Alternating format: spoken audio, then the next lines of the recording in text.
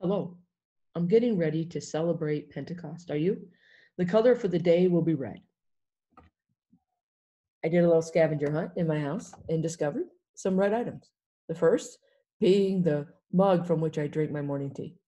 You can see the red gates of Wesley House, which is in Cambridge, England, where I had the opportunity to do some of my studying for my doctorate.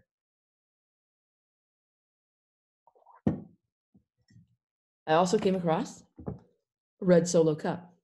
This contains the kibble for my Great Dane. Her name is Julian. And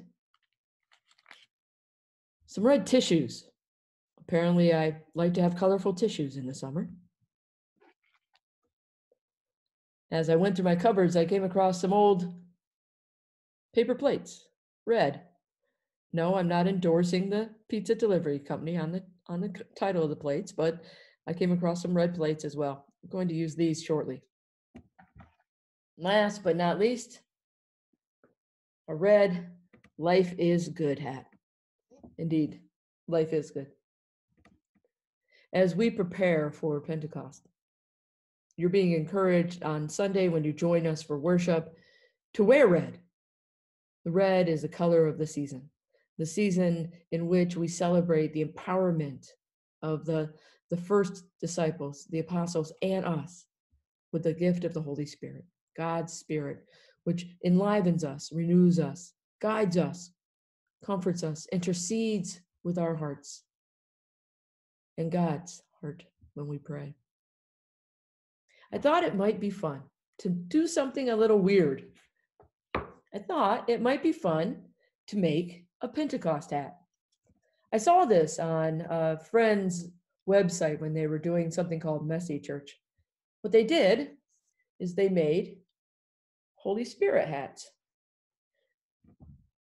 Now, this particular Holy Spirit hat is fairly easy to make. Remember those paper plates I mentioned earlier?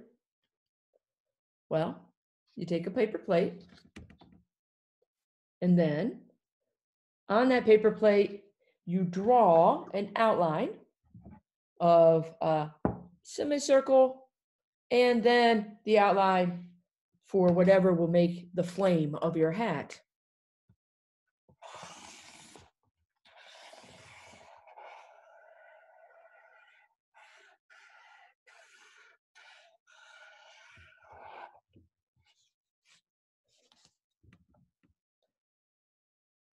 Now the goal is to cut along the red line. You'll notice at the bottom I left it open, there's no red line. That way we don't end up cutting our flame out of our hat. So we cut it out. We end up with something we then can decorate.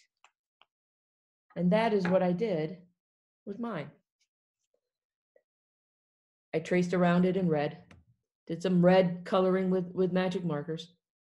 And to add a little depth, I took some of my my napkins. Remember those napkins? And I cut them up. I crinkled them up and I taped them them on them. If you don't have your own colored paper napkins, you can always color the back side and do the same. And now we are ready for Pentecost. Well, almost. We need to add the balloons. I hope you have a wonderful day. I look forward to celebrating God's amazing gift of spirit on Sunday with you. Take care and God bless.